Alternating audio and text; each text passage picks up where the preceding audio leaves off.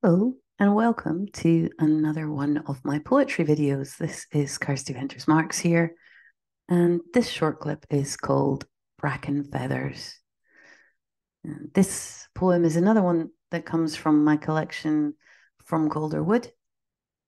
And this particular poem was inspired by a walk off the beaten track, often the best place to be, and through the high ferns of summer in Calderwood, West Lothian, just outside of Edinburgh.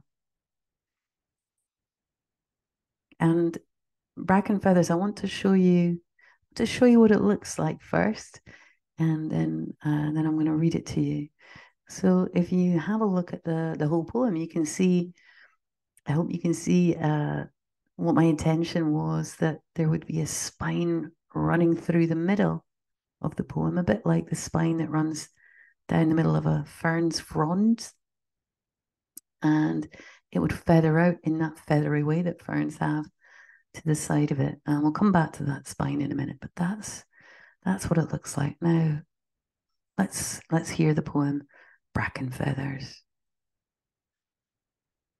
All the ground is shimmering with a feathered dance of ferns, an ancient green held here below the birds where the old songs they have dropped and forgotten come back to us in bracken paths to lullaby this weary earth.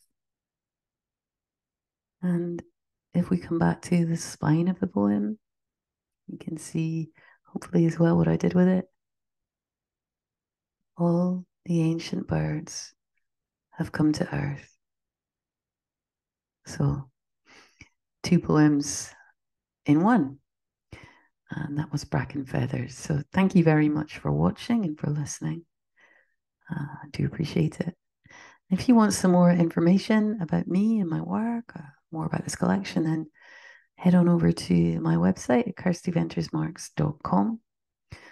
Uh, my blog's there too. And look out for more of these little poetry clips. And I'll see you next time. Thank you very much. Bye bye.